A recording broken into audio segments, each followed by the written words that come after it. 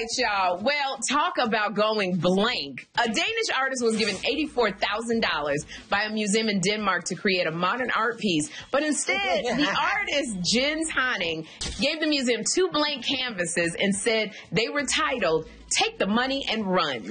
Okay. this is amazing. This is That amazing. is so this is the best love thing ever. Yo, the art is in the eye of the beholder, right? He thinks it's art. Now that was art sharing. It was art. It's art, is in the eye of the beholder, and I think it's beautiful Yeah. art. When you look at it, you can put whatever you want on that canvas. Think about it. $84,000. I want my money back. You know damn well you done went to Michael's Arts and Crafts, bought that damn canvas and go give it to me. I gave you $84,000. Sherri, if What? me and you did, if me Oh. and you did this, we would be arrested. But I think he's gonna Oh, be jail. all right. I'll say this to Miss Sherri, honey. If this damn man can get paid eighty-four thousand dollars, honey, for blank paper, honey, I want to get paid from you, Chuey, and mm. Brat because y'all all steal my damn line. So can I get paid?